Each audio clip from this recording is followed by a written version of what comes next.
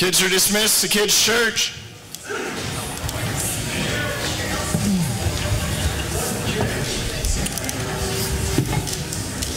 What an awesome sound. Enjoy, kids. I'm getting a little feedback. Test. Test, test. That's better. Can you guys hear me?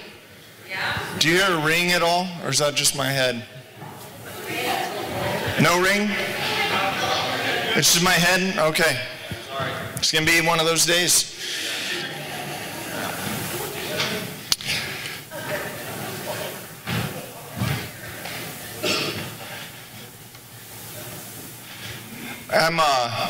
Uh, to Sierra. She left. Did she leave? Sierra? Yeah, okay, good. Um, not good that she left, sorry. I just wanted to apologize for clapping prematurely for the band. I was super excited back there and uh, ruined the ending. Uh, welcome to Waitsburg Christian Church. I'm Pastor Matt if you're new here. Um, so we don't have any points today. It's, uh, it's one of those weird weeks where um, I'm just going to be surprised at what comes out of my mouth. And um, hopefully you are too. Not, eh, not in a bad way, but in a good way. Speaking of this week, have you, have you ever been stressed out in your relationship with God? Like the, uh, the amount of effort that you put in, the work that you put in, um, where you just feel like you, you're trying to get closer to God, but it's not working. Anyone else here with me? All right, okay. Thank you for raising your hand. Go Hawks, by the way. I'm looking at you. Yeah. Tonight, uh, today, I want to talk about the, uh, our strengths and our weaknesses. I'm talking about both today and how we need to look at them in a different light. And how, if you've given your life to Christ, and if you're not there yet, hopefully this will be a motivating factor, how we're supposed to look at our strengths and our weaknesses. But I want to get right into the first two scriptures that we have. Um, I want to talk to you about my process throughout the week. Is when, when the Lord um, kind of nudges me with a sermon idea, I have seven different translations of the Bible that I set out in front of me on the desk, and I read uh, scriptures the same way through, through all of the, the Bibles that I have in my office. Um, it kind of puts more work on me than one hour a week, right, Noah? The, uh, so maybe on those days where I have that many hours, an hour and a half I work a week. But today, usually I don't go into the message translation. Today I want to go into the message translation on some of the scriptures and then um, a different translation. But I want to show you some key points. Let's go to Philippians first. Now this is Paul talking. we spoke about Paul last week. Paul is, uh, is the artist formerly known as Saul where he went in and he, um, he tried to eliminate Christians, men, women, uh, children. He wanted to get rid of all of them he had an encounter with Jesus and he became one of his greatest preachers for Jesus. And he writes this in Philippians, and that's about it, friends. Be glad in God. I don't mind repeating what I have written in earlier letters, and I hope you don't mind hearing it again. Better safe than sorry. So here goes. Steer clear of the barking dogs, those religious busybodies, all bark, all bark and no bite. All they're interested in is appearances. Knife-happy circumcisers. If this is your first time here and you're like, they're really getting it, I'm, uh, I'm going to switch mics. On, uh, wow, I'm on red now. So knife-happy circumcisers, I call them. Don't know why I read it again. The real believers are the ones the Spirit of God leads to work away at the, his, this ministry, filling the air with Christ's praises as we do it. We couldn't carry this off by our own efforts, and we know it. Even though we can list what many might think are impressive credentials, You know my pedigree. He's talking about himself here. A legitimate birth, circumcised, once again, on the eighth day, an Israelite from the elite tribe of Benjamin, a strict and devout adherent to God's law, a fiery defender of the purity of my religion, even to the point of persecuting Christians, a meticulous observer of everything set down in God's law book. The very credentials these people are waving around as something special. This is amazing. I'm tearing up and throwing out with the trash, along with everything else I used to take credit for. And why? Because of Christ. Yes, all the things I once thought were so important are gone from my life. Compared to the high privilege of knowing Christ Jesus as my master firsthand, everything I once thought I had going for me is in- insignificant, dog dung. So there's one um, ancient scholar that said this is the closest that you get to swearing in the Bible because he means something more than just dog dung. I've dumped it all in the trash so that I can embrace Christ and, and be embraced by him. I didn't want some petty, inferior brand of righteousness that comes from keeping a list of rules when I could get the robust kind that comes from trusting Christ, God's righteousness. I gave up all that inferior stuff so I could know Christ personally, experience his resurrection power, be a partner in the suffering, and go all the way with him to death itself. Go all the way with him to death itself. If there was any way to get in on the resurrection from the dead, I wanted to do it. Can we back up one slide? I want to hit on this point. I wanted to, right before that, it says, I wanted to be embraced. I want to embrace him and be embraced by him. He's essentially saying, I want to hug Jesus as he hugs me. So all these strengths that I'm telling you about, they relate to dog dung compared to what I have in Christ. And all I'm going to throw them all away so that I can hug Jesus and he can hug me. So that's the strengths that he's talking about. What about the weaknesses? Let's go to 2 Corinthians.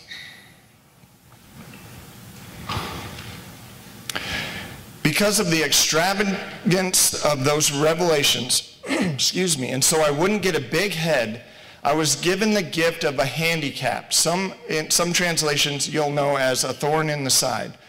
Gift of a handicap to keep me in constant touch with my limitations. Satan's angels did his best to get me down. What he in fact did was push me to my knees. No danger then of walking around high and mighty. At first, I didn't think of it as a gift and begged God to remove it. Three times I did that. And then he told me, My grace is enough. It's all you need. My strength comes into its own in your weakness. Once I heard that, I was glad to let it happen. I quit focusing on the handicap and began appreciating the gift. It was a case of Christ's strength moving in on my weakness. Now I take limitations in stride and with good cheer, these limitations that cut me down to size, abuse, accidents, oppositions, bad breaks, I just let Christ take over. And so the weaker I get, the stronger I become. What I love about this is that on the strength side, Paul is saying the biggest hurdle, the biggest obstacle that I have from hugging Jesus and him hugging me is my strengths, my accomplishments, my achievements. And then he's talking about his weaknesses and he's saying, those I thought kept me from Jesus. But in fact, it pulled me to my knees and it made me embrace Jesus even more. So today I want to talk about the, the two obstacles that keep us from embracing Jesus, from hugging Jesus. And I want that picture in your mind as we talk of, of you hugging Jesus and him hugging you back. Let's pray. Lord, thank you for today. Lord, I pray that you give me words today. That there's times I may not know where I'm going, but you do. I pray you take over, Lord. We love you so much. Thank you for being in this church, these communities, and uh, just being you. In your name we pray. Amen. So there was a guy that I, I will always remember that um, taught at a church I went to when I was little. I, I don't remember his name, but I remember his body hair. And um, true story. He'd be teaching in one of the small classrooms that we had. And he was, he was bald on top, but he had this hair like coming out from his back that like wrapped up to his head. It was, it was just a, an amazing sight to see. And I remember just, I, I couldn't stop focusing on this. And, and I'm trying to be, you know, a good steward for the Lord and serve the Lord, but I found myself making fun of his bald head. And then uh, I got married with a full head of hair. And I believe God was like, hey, you remember that time where you kept making fun of this guy with the, with the back hair that almost made him look like he had hair on his head, but he was bald? Well, here's the thorn in your side that you're going to have now. I remember my daughter, the first time that I realized that I was going bald is we were in a swimming pool. And she said, Dad, you're going bald. You're losing your hair. She was just little. So I, it was a public pool. I just took her out right there and spanked her publicly. Kidding. Don't get offended. I didn't do that. But I always remember this guy because um, I was a talker. Shocker. I talked to everyone. I was a distraction. Finally, he pulled me away. He pulled me aside one time and he said, Matt, what's your favorite? He called me Matthew. Some of you call me Matthew. Um, but he called me Matthew, and I knew, I was like, okay, what's going on? He said, What's your favorite Bible verse? And I said the only one I knew, which was Jesus wept, because it was the first, it's the shortest verse in the Bible. So it came right out, Jesus wept. And he said, Really? I said, Yeah. He said, Okay, if you want that. And he said, Do you know what my favorite verse is? And he said, My favorite verse is, G- or God helps those who help themselves. And I looked at him and I'm thinking, I don't remember that. But I went home, and kids, this was before you could just Google something. I had to actually open the Bible and start reading and say, Where is this in the Bible? And I couldn't find it. And I was like, That's a really good one. I want that one. God helps those who help themselves. So I asked my dad, and he starts laughing. I didn't understand until he told me that that's nowhere in the Bible.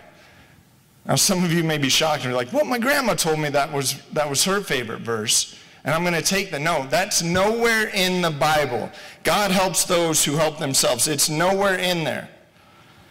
Now let's answer that question. Does God help those who help themselves? The answer, God helps everybody.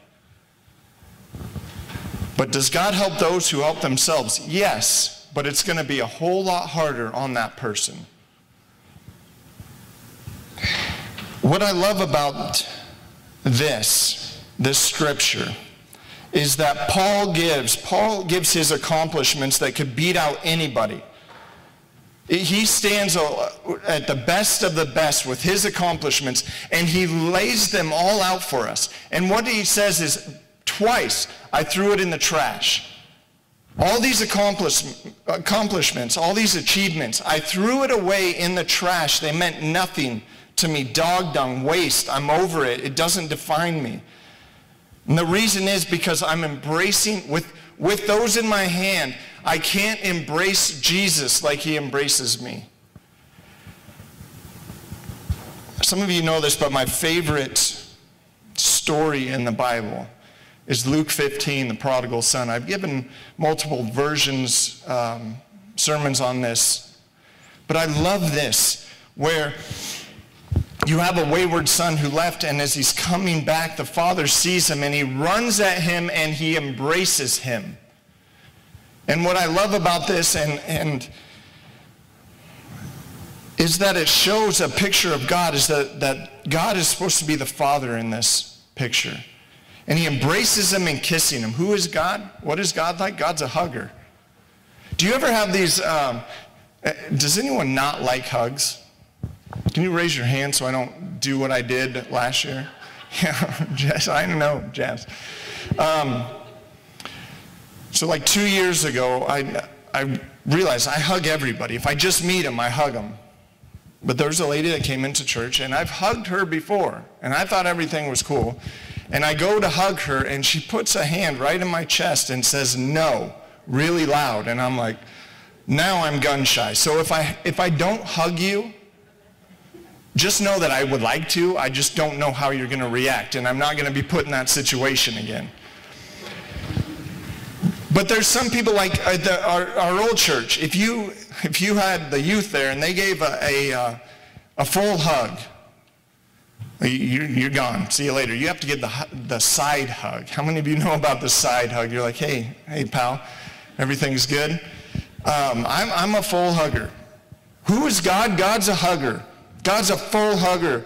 And in this story, and what sucks is I'm about to give the conclusion at the beginning. This is going to be a problem later, but we'll get, we'll get on with it. But in this story, you have this father hugging and this, the son attempting to share why he shouldn't be hugged. The son talking about either his achievements or his lack of, of achievements. And over and over he says the words, I'm not worthy. Who is God?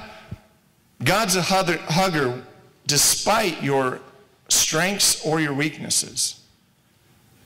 God's a hugger despite what you've done for him or what you think you don't deserve because of what you've done. And it talks about him ignoring the speech. I ignored the speech. When it comes to relationship with God through Jesus, it has nothing to do, church, with your strengths, achievements, or your failures. It has everything to do with the person, the being who's hugging you. This relationship, the standing with God. Here's the problem. When we receive the embrace of grace, we struggle because we want to explain what we've done. We want to explain, God, this is, this is what I've done for you, or this is what I haven't done. And it's frustrating our walk with God because God will ignore that. God will ignore you bringing these strengths. Just as Paul said, I, have, I stand alone, the best of the best, and God, eh, God ignores that speech. And he says, I threw it all away in the trash. In my opinion, the two greatest obstacles in, in, embracing Jesus on levels that church we have yet to experience, the two biggest obstacles are our strengths and our weaknesses.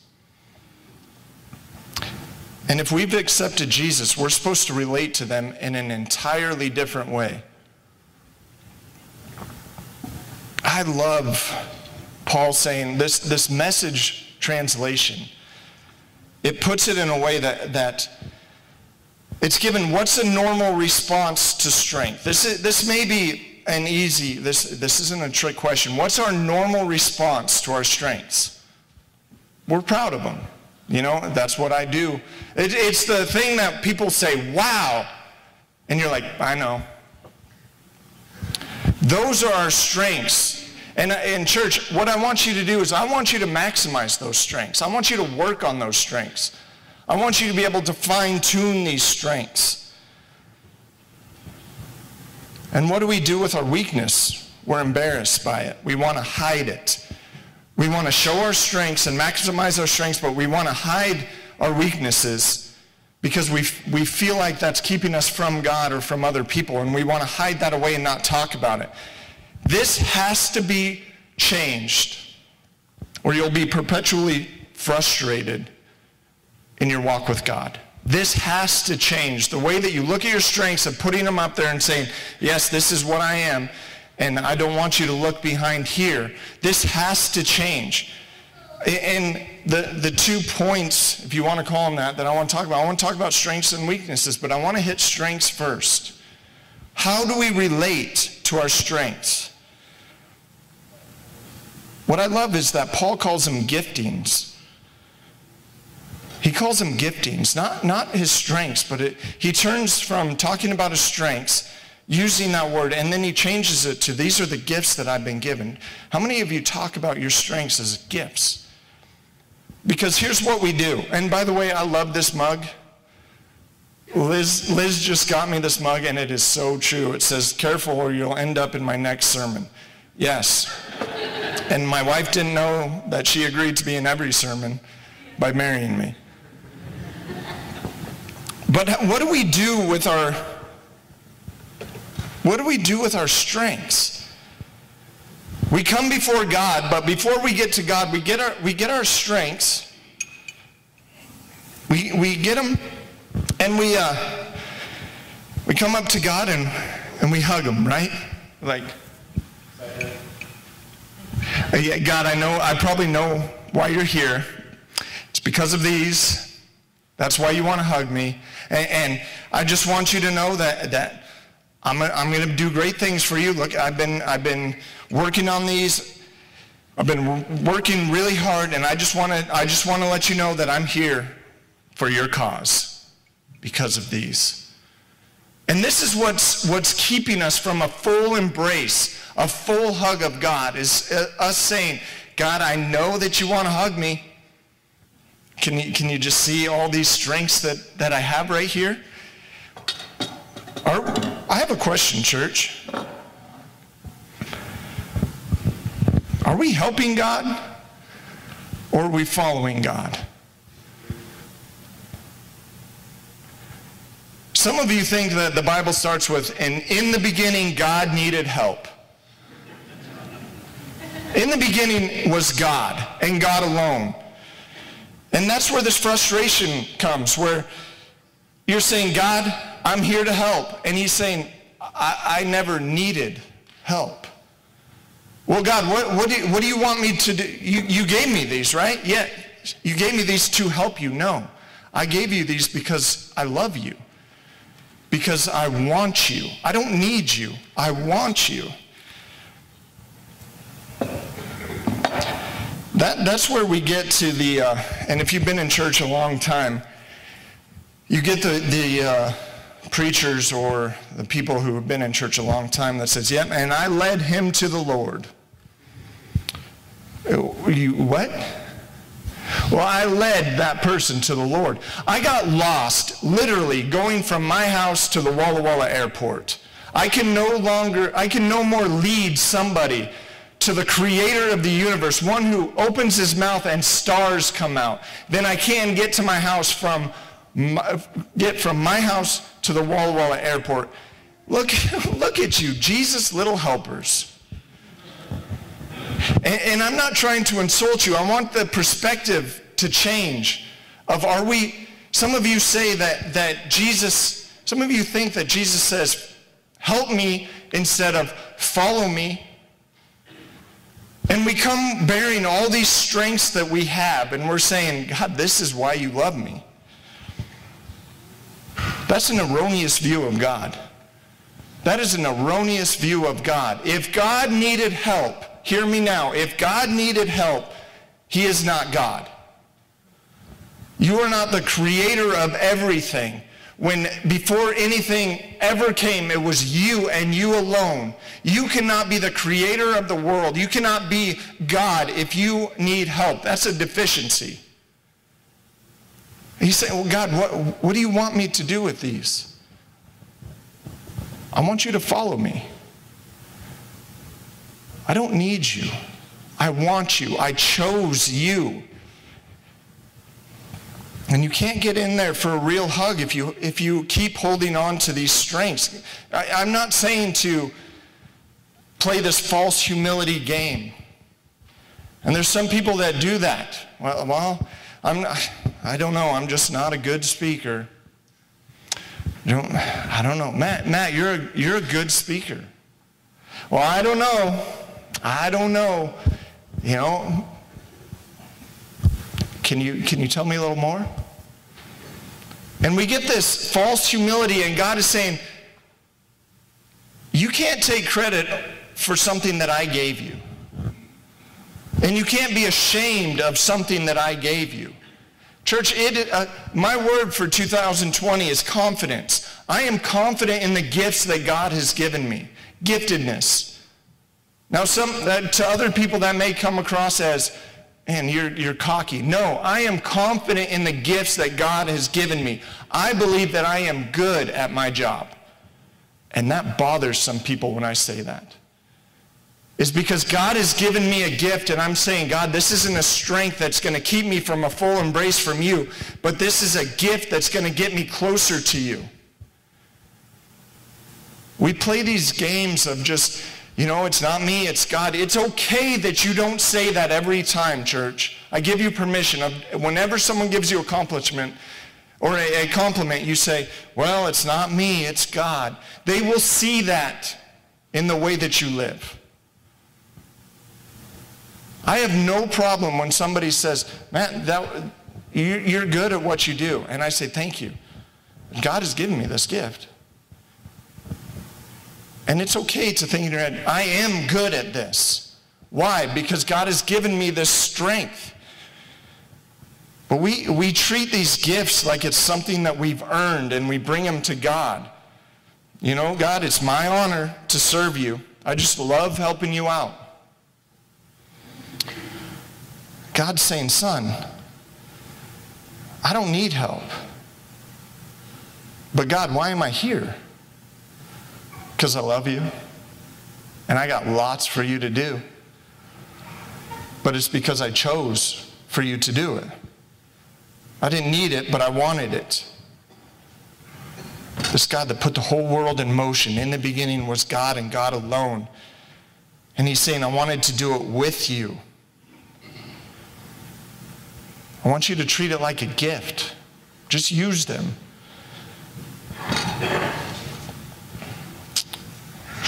Look at, uh, look at 2 Corinthians 5.17. How do we relate new way? Therefore, if anyone is new, is in Christ, the new creation has come. The old is gone, the new is here. Some of you know that I will never call myself an addict or an alcoholic because of this verse. That's gone. The old is gone. So some of you who have gone through hell and back and given your life to Christ, that does not define you. What defines you is this, is that you are new, a brand new creation. So how do we relate? If you're new, how do we relate to these strengths? He didn't give you these strengths so you put it on a shelf and say, I'm not worthy. I, I can't really do this, God. I know you've given me this gift, but I'm not worthy, so I'm going to put it on a shelf. We know you're not worthy. He knows I'm not worthy. But he's given us this gift. He's given us to use it. And as you use them, you'll gain confidence. We need more people who don't play games with their gift. Of either the false humility of, I don't know, I can't really use it, or look at me. Look at everything that I have done because of the, the strengths that I have, I, I, I have in my life. Uh, somebody asked me, do you ever get nervous before you speak? I don't get nervous. I get excited because I never know what's going to come out of my mouth, but I know it's going to be great. Seriously, sometimes when I'm, I'm in counseling, and this may be rubbing people wrong, but I want you to relate to your gift the way that I can relate to my gift. Sometimes I'm in counseling and I'll say something and, and i sit back and I'm like, that was pretty good. Relate to it in a way that brings glory to God of saying, God, that, wow, you brought that out of my mouth. My relationship with my gift is confidence. We have this, we need to have this attitude of gratefulness because church, it is powerful when you have an attitude of gratefulness. When you say, thank you, God. Thank you for giving me this. Thank you for this gift.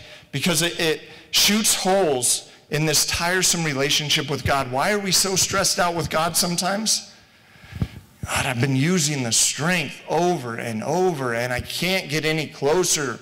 And I was that way this week. God, I, I can't. I've, you've given me this gift, but sometimes I feel like it's too much, Lord. The strength that I have, it's, I feel like I'm burning out. And when I say thank you, God, for this, thank you. When we get back to Luke 15, where it, where it says that, that he was embraced by grace. Some of you need to, to write this down and live by it in 2020. Embrace grace. I love it because he's embracing his son, and his son is supposed to get his speech out. When he's practicing it the whole way, he's saying, I'm not worthy, I'm not worthy. But if you just let me be like one of your hired servants, I'll work for you the rest of my life. I'm not worthy. And he's trying to get this out, and what's offensive it's almost offensive is the father doesn't even let him get it out before he turns to his servant and he says, get the steaks, get the barbecue, get the jewelry, get the clothes, get the music. We're going to party because my son's home. He doesn't even get it out. Some of you are trying so hard to get out this speech of why you should be accepted by God or why you can't be accepted by God. And God is ignoring you.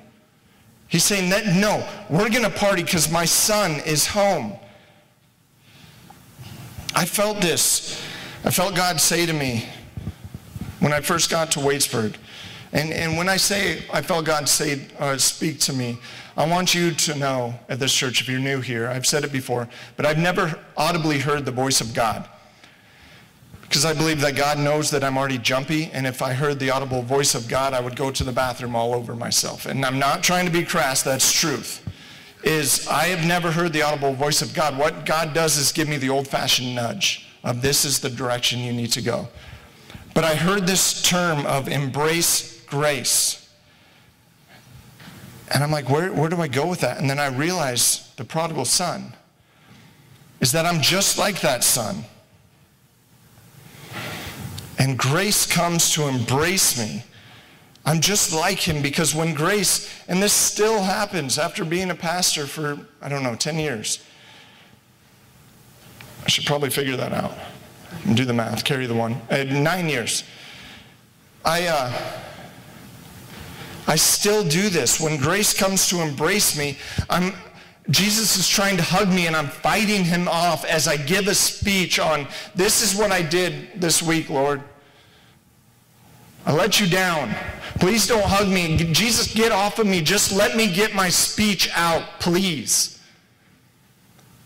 And God is ignoring me. And he's saying, son, your strengths, your weaknesses are not keeping you from me. Embrace me. Hug me. God's not hugging you because he's so impressed with you. Someone needs to hear that. God's not hugging you because he's so impressed with you. Bless you. That was loud. You, we, we think that God's hugging us because he's impressed, and God won't hug us because he's not impressed with us. It, it, it's like we, I use this, it's like God's up in heaven and he's like, oh, hey, hey, angels, angels, get over here. You got to see this sermon. Did you hear that YouTube sermon?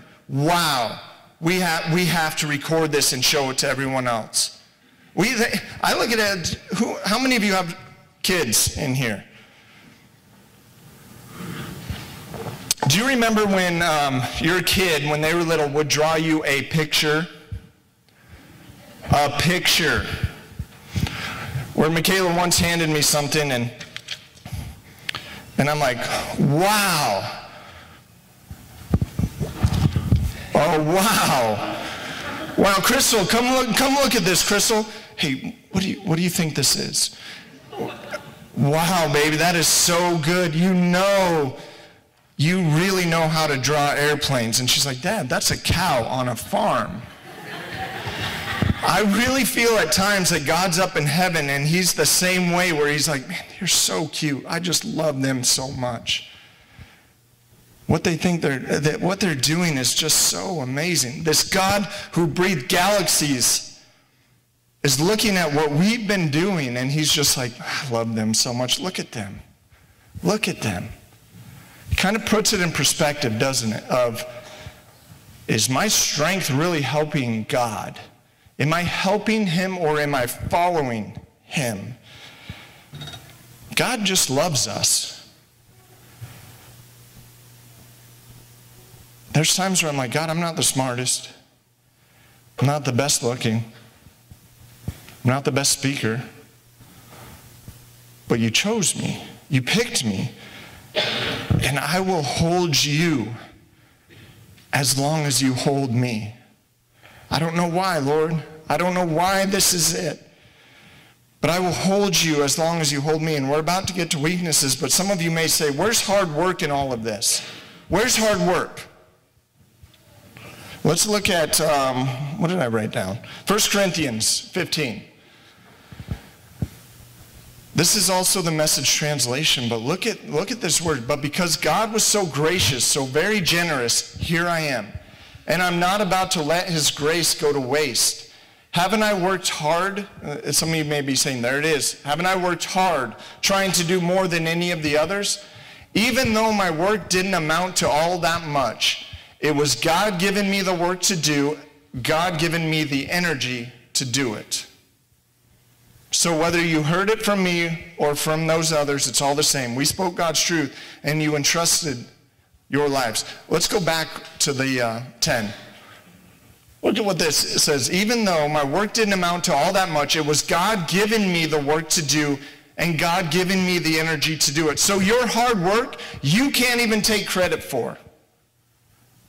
He's saying, yeah, I worked hard, but it was actually that God gave me the work and he got, God gave me the passion to do it. So it doesn't amount to much because God did everything. God will give you passion for the work that He's called you to do. He'll give you favor through it and grace in it. I told God a long time ago, God, you want me to raise a family, take on my nephew, preach at least one to two times a week, counsel. You want me to sweet Jesus? You really want me to do that? Okay. But God, I'm, I'm asking you to give me the messages. I'm asking you to give me the words to counsel. I'm asking you, you've given me the hard work, Lord. I'm asking that you continue giving me the passion for it. That's the relationship that I have with God. Is I'm saying, you, God, you've given me this hard work. And Lord, if this is what you want me to do, that's my story. And this will be this church's story from here on out.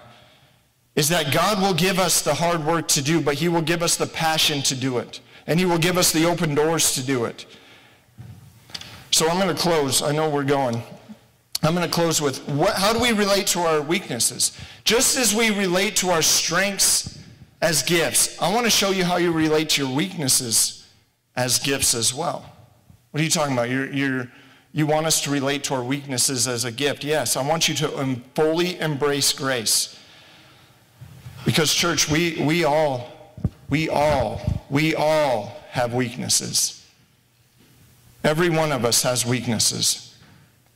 And there will be no true progress in this church, in this community, until we admit that we all have a problem. It's in all of us. And I pray, God, where's that weak spot in me? It's powerful when people talk about their weaknesses.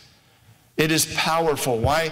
The scar that I have on my hand that, that was caused by an injury that led me into a um, six years addiction to painkillers and alcohol, suicide attempt, six overdoses. I don't cover this scar. Why? Because Jesus didn't cover his scars when he came back and he said, look, this was a weakness at one time, but I look at it as a gift because I'm able to reach people that I never thought I'd ever be able to reach. So what's that weakness in you that, that you can look towards God and say, wow, you just opened the door for me to reach people. But how do we look at we how do we look at it as a gift? We have to expose it. We have to expose the weakness. We have to talk about it. When I was I'm so glad my wife walked away out from this story. In third grade, I was in love with somebody in, in third grade. I'm not saying her name because my wife will probably get, the, she knows this person. I was in love with this person. And I thought that she liked me. And when I say in love, it was third grade. Oh, okay, I see her in the hallway. I'm not going to hold her hand or actually acknowledge her, but that's my girlfriend. But I thought that what we would do is just to get it out in the open. I said, okay, on the count of three, we're going to say who we like. One, two, Three, and I said her name, and she covered her weakness and said nobody. And I was crushed. But I realized as a church, we need to do that. We need to all come out and say, here's where I struggle. Here's, we need to build authentic relationships. And authentic relationships cannot be built by only showing the good of you. There's some close guys that I have in my life, some amazing people that know the, the deepest weaknesses that I have. Where I'm able to go to them and say, they say, how was your day today? And I say, it wasn't good. And here's everything that happened where I'm able to show this. Paul's weakness. We don't know what the thorn in the side or the weakness was, and if somebody tells you that, that they know, they're lying. It never says it in the Bible, what Paul's weakness was. It's not important. And he's saying, God, he says three times, God, if you help me in this, in this area. And he's praying over and over and over, God, help me in this area. And God says no. He didn't say that he wouldn't cover his sin because sin is covered, all sin is covered through the blood of Jesus Christ. He said, I'm not going to take away your weakness. Have you ever prayed over and over and over again for God to, God, I'll, I'll be a better pastor if you take away my anxiety. God, I'll be a better Christian if you take this away. God, I, I know I can serve you more if you just take this away, Lord. But the more you pray, the more that weakness stays the same. God says no. The, uh, the Second Corinthians in the message version, version, Dave, the first one I gave you, or the second one, can we pull that up again? It's the, um, the message version. It was one of the first scriptures I gave you.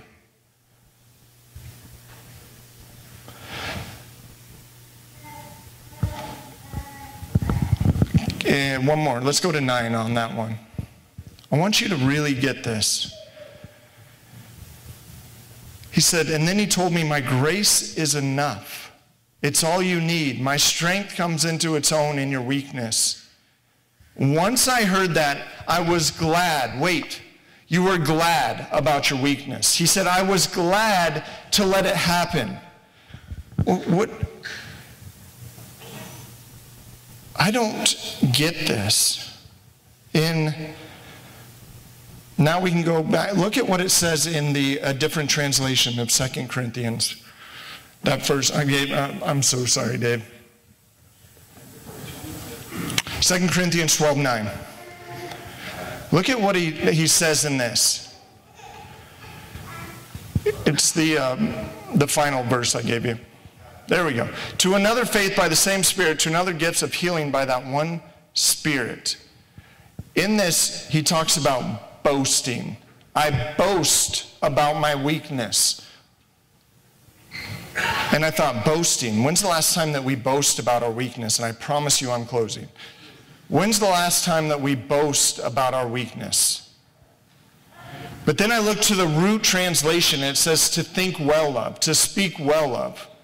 And he's saying, wait, my, uh, my propensity is to shine light on my strengths, and then have my weakness here and be like, nope, nope, nope, don't look, don't, don't look.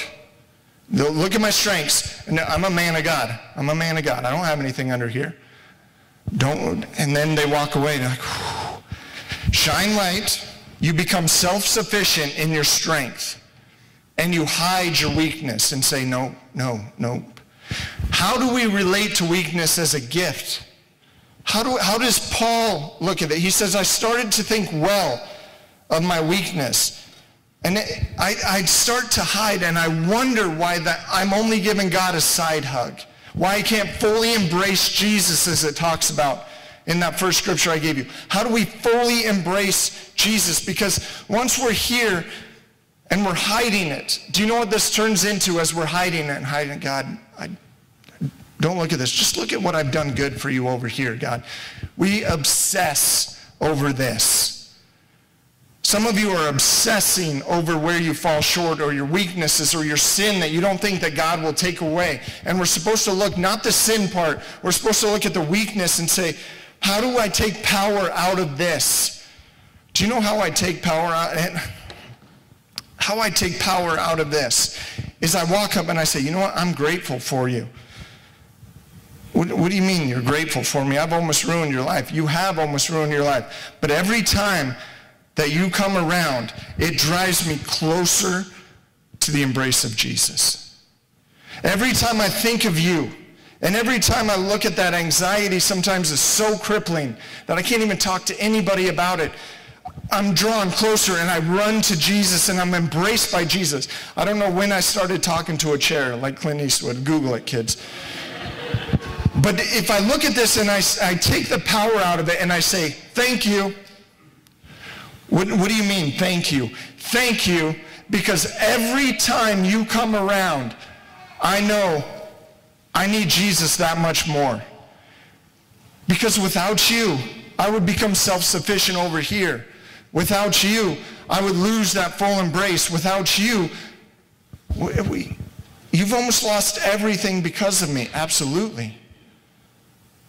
But because of you, you're a gift. Because I run into the arms of Jesus. Every time you come around, I run further into his arms. Because without Jesus, you'd ruin everything. Without the grace, embracing grace, you would ruin my life. And so thank you. How do you take power out of it? Thank you to your weakness. That's going to become so foreign for some of you to say thank you. Thank you for, for the weaknesses that I have in my life where I fall short because it just drives me closer to Jesus. Because what, what you meant for evil, God is using for good. And God, like a father, is holding his arms out. And you push him away and say, hold on, God, I need to work on this. And he's grabbing you and he's saying, you are no match for that weakness. You are no match for that thing that's, that you're struggling with. You are no match, but it's driving me closer to you. And you need me because when you are weak, how does it go? When you are weak, then you are strong. Does God help those who help himself? Yeah. But stop helping and start hugging Jesus because he's the only one that can turn this into a gift of saying, come on, son. I know what I love about this, and I promise you this is seventh close.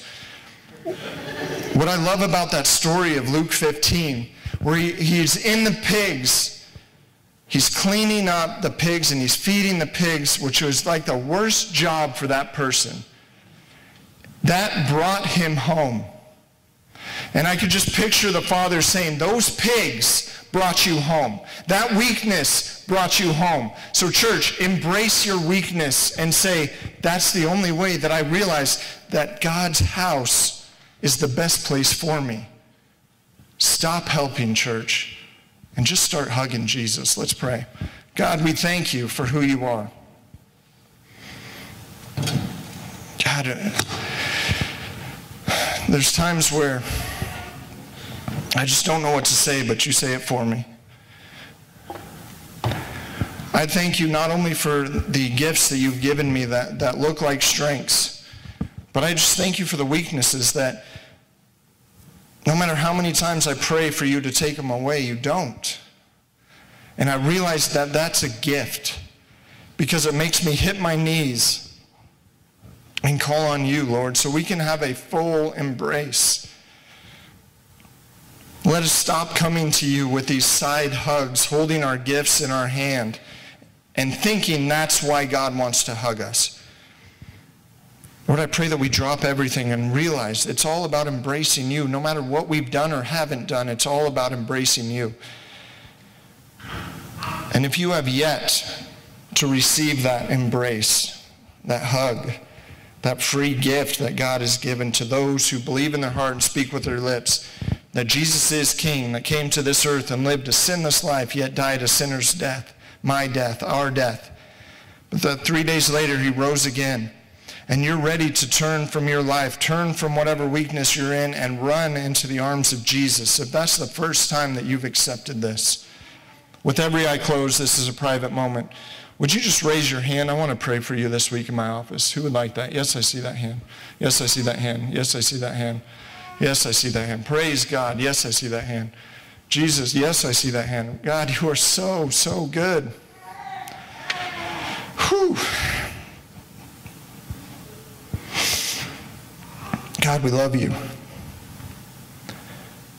And not because of what we do, but because you first loved us.